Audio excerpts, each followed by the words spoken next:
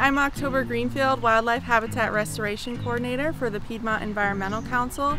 Today we are at Sky Meadows State Park in Fauquier County and we will be monitoring some American kestrel and barn owl boxes.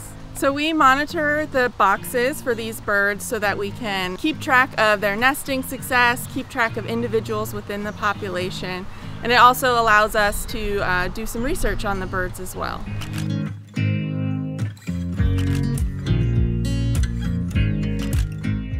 So to monitor the boxes, we first start by putting a camera inside the box. It's on a long extendable pole. Um, that allows us to see what's happening in the box right on our smartphone.